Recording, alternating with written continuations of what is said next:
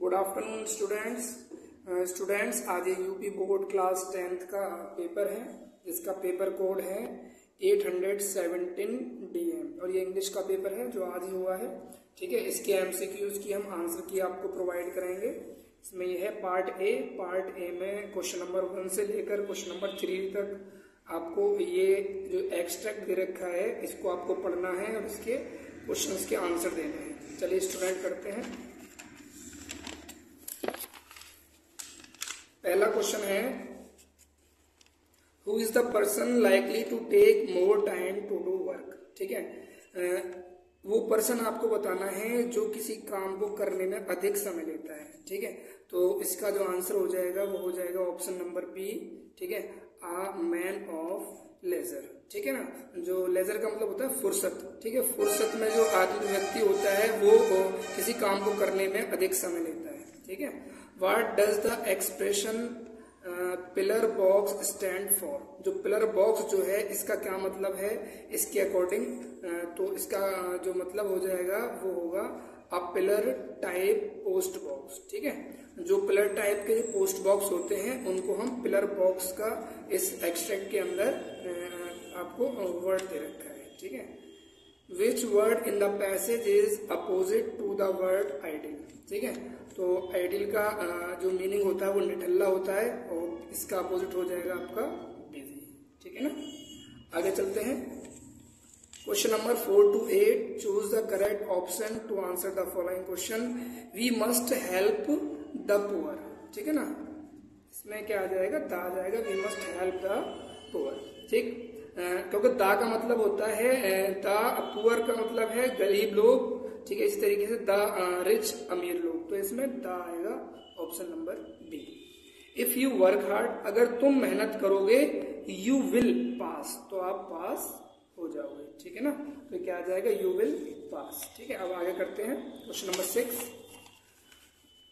question number six है rewrite the following word cluster to make meaningful sentence इसको आपको meaningful sentence में बताना है तो आप सबसे पहले सब्जेक्ट ले आइए।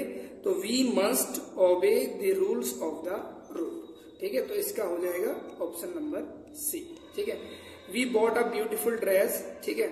तो इसके अंदर आपको बताना है ब्यूटीफुल कौन सा है? कौन सा पार्ट ऑफ़ स्पीच है? वर्ब है प्रिपोजिशन कंजेक्शन और एडजेक्टिव तो आप जाना उनकी विशेषता बताता है तो वो आपका क्या होता है?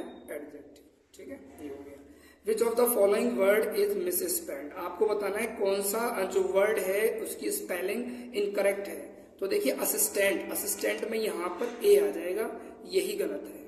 ठीक है? ये हो गया. अब देखिए नाइन टू टेन आपको पैसेज को पढ़ना है और पैसेज पढ़ने के बाद इसके आंसर देने हैं।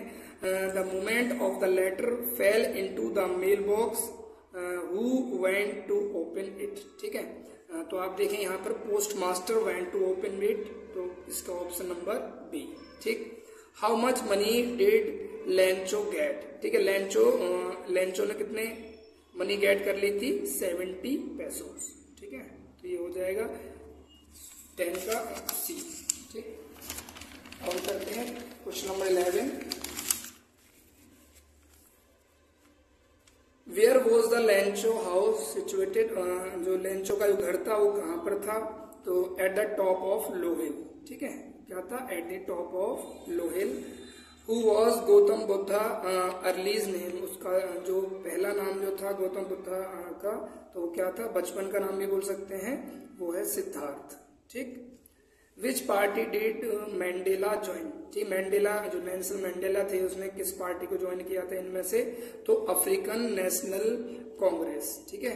अफ्रीकन नेशनल कांग्रेस क्लियर ठीक है? Read the extract and choose the correct option to answer the following ये आपको पढ़ना है, ठीक? इसके अकॉर्डिंग आपको आंसर बताने हैं। Who was sitting on the tree तो क्या आ जाएगा? Option number A crow was sitting on the ठीक? Where was the poet standing जो पोइट था वो कहाँ पर खड़े हुए थे? तो under a hemlock tree option number B ठीक है? चलिए करते हैं question number sixteen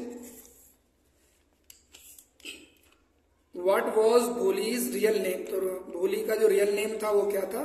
सुलेखा ठीक? आप सबने चैप्टर पढ़ रखा होगा। आ, तो इसमें ये कौन है? ये डॉग अ डॉग ठीक? What did Hari Singh want from Anil ठीक है? तो क्या चाहते थे वो? मनी ठीक?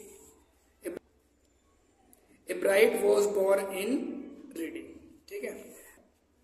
Matilda's husband was a pretty clerk ठीक? मैंने आपको